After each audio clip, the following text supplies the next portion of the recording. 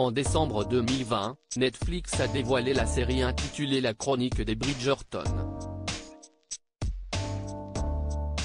Après une première saison qui a rencontré un franc succès, la plateforme de streaming a souhaité la renouveler pour une seconde saison, dévoilée en mars 2022. Très attendue, celle-ci a rapidement comblé les fans et Netflix a annoncé qu'une troisième saison allait voir le jour. Elle se concentrera sur le troisième fils Colin Bridgerton et sa relation amoureuse naissante avec la troisième fille de la famille Fitterington, Penelope. Toutefois, des personnages emblématiques pourraient-ils faire leur grand retour? Interviewé par Kelly Clarkson ce mardi 7 juin, Adjoa Ando, l'interprète de Lady Danbury, a donné des indices, qui ne sont pas passés inaperçus.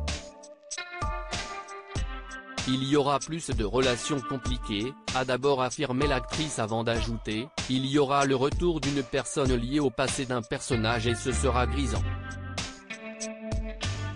Mais de qui s'agit-il? Qui va venir chambouler le quotidien des Bridgerton? Les fans devront faire preuve de patience avant d'obtenir les réponses à leurs questions. De nombreuses spéculations voient le jour et certains internautes pensent que si Sienna Rosso qui pourrait faire son grand retour. Il s'agit de la chanteuse d'opéra, interprétée par Sabrina Bartlett et qui a été absente de la seconde saison. Les fans ont pu la découvrir dans la première puisqu'elle était la maîtresse d'Anthony Bridgerton, jouée par Jonathan Bailey.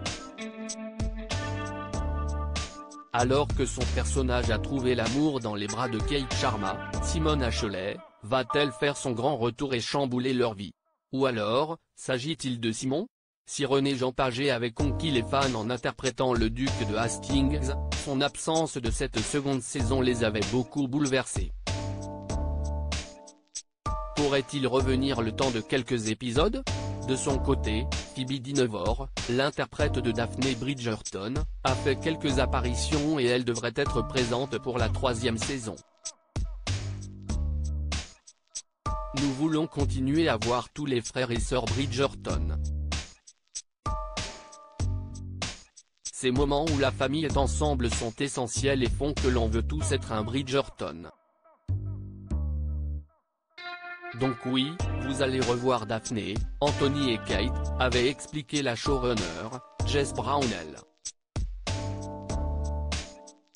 La chronique des Bridgerton, quand va sortir la saison 3 Alors que la seconde saison de la chronique des Bridgerton est sortie en mars dernier, les fans sont déjà impatients de découvrir la suite. Toutefois, ils devront faire preuve de patience puisque le tournage de celle-ci devrait commencer au printemps 2022.